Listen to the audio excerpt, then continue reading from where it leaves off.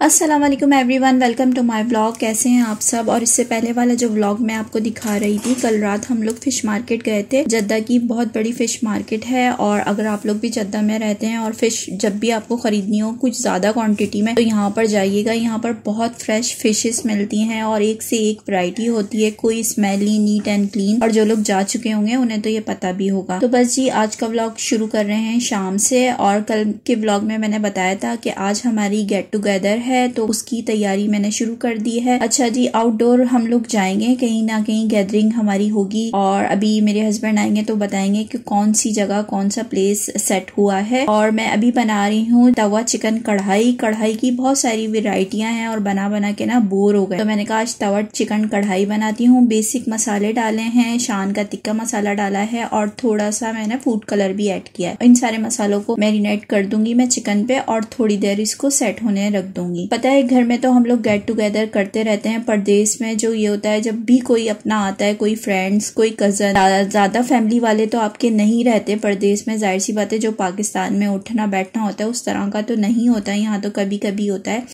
जब भी get together होती है तो बहुत अच्छा लगता है और ना रिलैक्सेशन फील होता है। और ज़्यादातर जिनके बच्चे हैं, वो लोग तो यही चाहते हैं कि कहीं किसी के घर ना जाएँ, कहीं कोई ना कोई जगह वो डिसाइड कर लेते हैं और वहीं जाके हम लोग सब मिलके वनडिश वनडिश बना के लिए आते हैं, या जिसको जो आसानी होती है, बाज़ार से भी लेकर आना चाहे तो वो ले आते हैं। साथ में मैंने उससे पहले टमाटर को भी पील आउट करके उनको कट कर लिया है। अच्छा जी, ये फ़िश फ्लैटर है। इसके मैं छोटे छोटे से पीसेस काट के रख रही हूँ और अब इसको मैं मैरिनेट करके रख दूँगी। मैं बना के लेके जा रही हूँ, तवा, चिकन कढ़ाई और फ़िश फ्लेटर को मैं फ्राई करके लेके चली जाऊँगी। इसमें मैंने विनेगर डाला है और मैंने सॉल्ट डाला है थोड़ा सा और अब मैं हॉट सॉस डाल रही हूँ। बहुत मज़े की, बहुत टेस्टी बनती है। व्हाइट पेपर डाली है ब्लैक पेपर डाली है और इसको भी मैं अब अच्छे से मिक्स करूँगी और थोड़ी देर इसको सेट होने के लिए छोड़ दूँगी। आप लोग भी ज़रूर बनाइएगा, बहुत टेस्टी बनती है और गरम गरम खाने की तो बात ही अलग होती है ना। बिरयानी वगैरह तो बनाते ही रहते हैं और मुझे यकीन है कोई ना कोई लेके भी आएगा, इसलिए मैं बिरयानी की तरफ़ नहीं गई।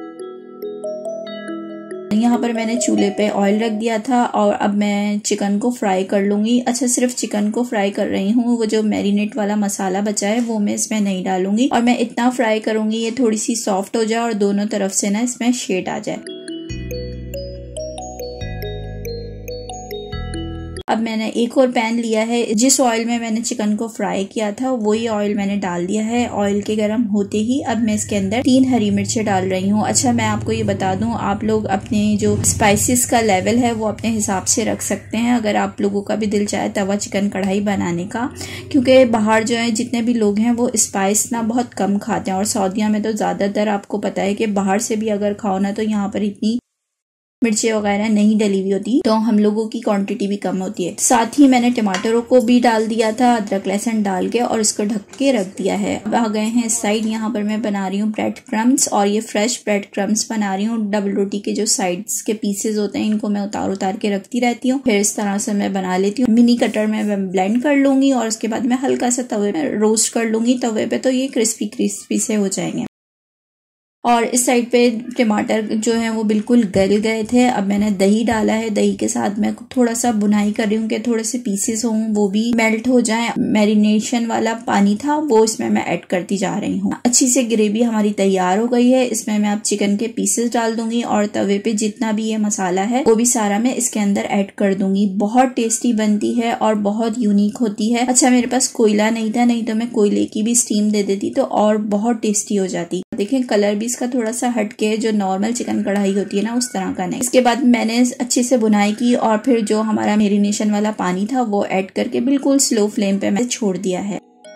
यहाँ पर हमारी फ़िश भी मैरिनेट हो गई है। इसके अंदर मैं टू टेबल स्पून कॉर्नफ्लोर डाल रही हूँ और बस कॉर्नफ्लोर डाल के मिक्स करूँगी। इतना कोट करना है कि हल्का हल्का से इसके ऊपर मिक्स करना है। अच्छा जी, आप अंडे में भी डिप करना चाहें तो कर सकते हैं, लेकिन मैं नहीं करती फ़िश है। वैसे भी ब्रेड क्रम मैं ऊपर से लगा दूँगी तो यही इतनी टेस्टी बनेगी कि हद नहीं। अच्छा और इसके सारे पीसीस को एक साथ आपने ब्रेड क्रम में लगा लगा के रखते रहना है। जब फ्राई करेंगे तो एक साथ फ्राई करेंगे। ये नहीं हो कि लगा रहे हैं और डाल रहे हैं ऑयल में। तो मैं मैं साइड में लगा लगा के प्लेट में रखती जा रही हूँ और अब ऑयल भी गर्म हो गया था। दूसरे स्टोव पे मैंने ऑयल रख दिया था।